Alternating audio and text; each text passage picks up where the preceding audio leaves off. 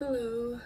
This is kind of an awkward thing to demonstrate, but I feel like we covered a lot in the live session. Um, but I just thought of something that um, we did with a client recently that just gave her, it didn't give her relief, but it kind of got her baby in the right position and she had her baby like 10 minutes later. So I thought I would discuss it.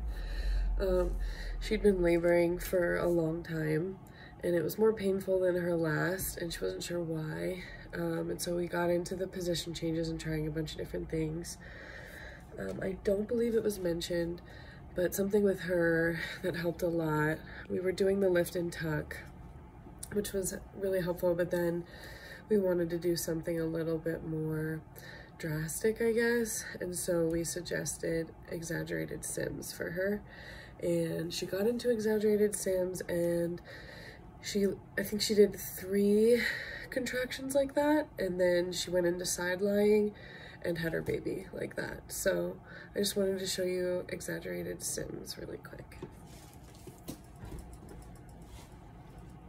So it's your chest is on the ground and your butt is in the air and um, you're just kind of resting your arms or your head on your arm like this.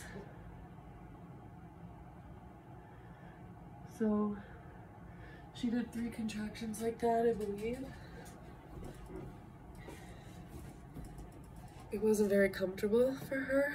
Um, so we told her that that's okay, you can get out of it, and it worked wonders because she had her baby soon after. Thanks.